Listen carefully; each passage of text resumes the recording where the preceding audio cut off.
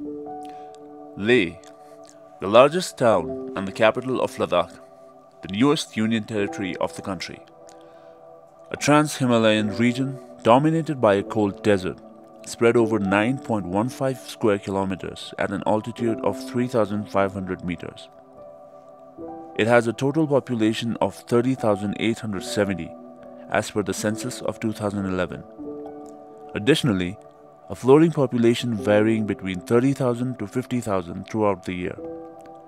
The floating population consists of tourists, migrant labor, and army personnel. With the opening of the town to tourism, a significant increase in the floating population can be seen in and around the town of Leh, which is evident by the roads, streets, water streams, open pits, or any open space which can be seen decorated with waste packages from various brands. Once an eco friendly place with almost zero plastic, today the town is struggling with all sorts of possible waste, especially plastic waste.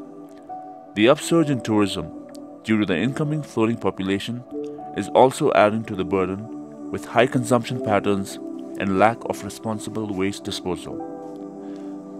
The lack of responsibility and knowledge of waste management and the fluctuating load of waste in summer breaks the cycle that should be maintained. On top of that, there is no actual quantification of waste for the town, and standard rules are not suitable considering the fluctuating floating population. Seeing the urgency of this problem, the Ladakh Ecological Development Group, supported by BORDA South Asia, took the responsibility to map out the waste management system and its environmental impacts.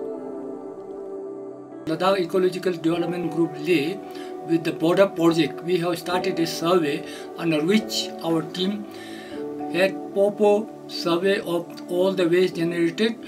So they in future they will have a proper data of whatever waste being generated in Leh and how that can be managed in future. So accordingly, in future they can have a proper guidelines and plans how to manage all the waste generated in urban Leh.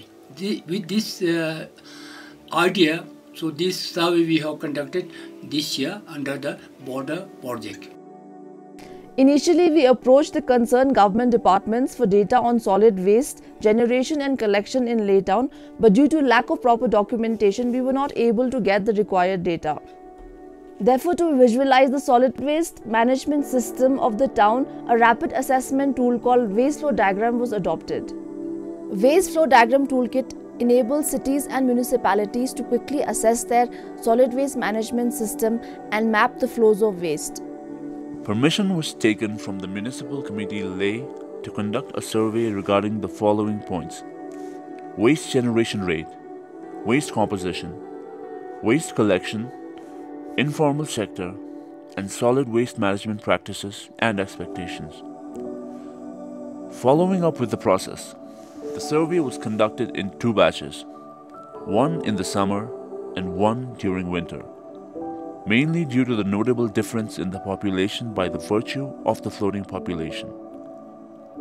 34 surveyors were given an orientation session about the survey. The session guided the surveyors through each step of the survey and provided training so that the survey would yield high quality data.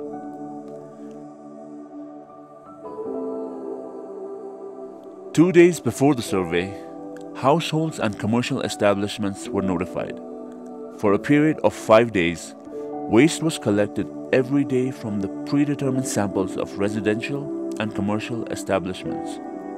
Every day, the collected waste samples were weighed, categorized, and labeled as wet or dry waste, and the data was entered onto survey forms.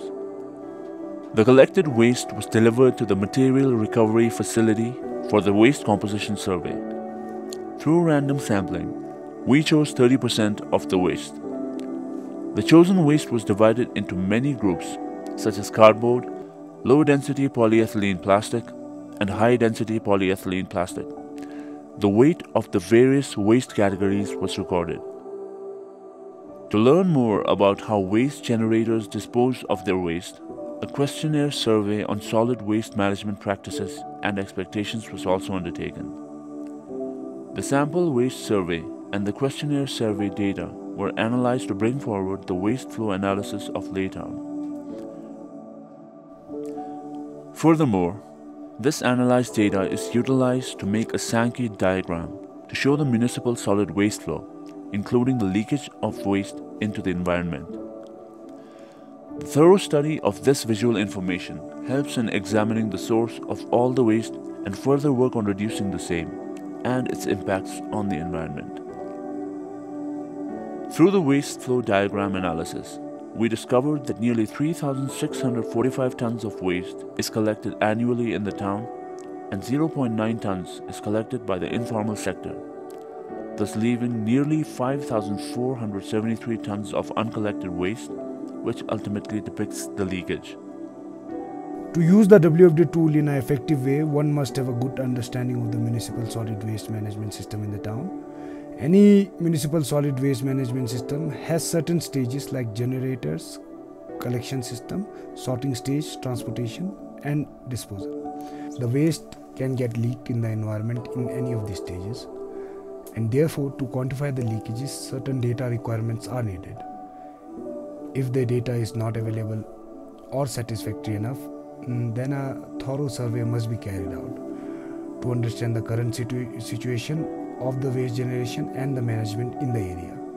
Further, um, from the quantified data, leakage influencers are identified, which can be infrastructure or potential practices.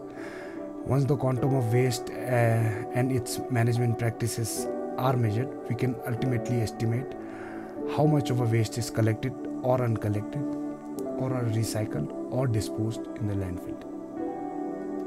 Identifying and registering the bulk waste generators and promoting on site waste management arrangements would reduce the load on the municipal waste management system. This would also bring in more responsibility and ownership amongst the waste generators and subsequently enable improved waste collection and management with the existing infrastructure. Making proper arrangements on time can help strengthen the town's socio-economic and environmental aspects in the long run. Thus, waste flow diagram enables the authorities to make informed decisions and create effective plans based on realistic on-ground data of waste management.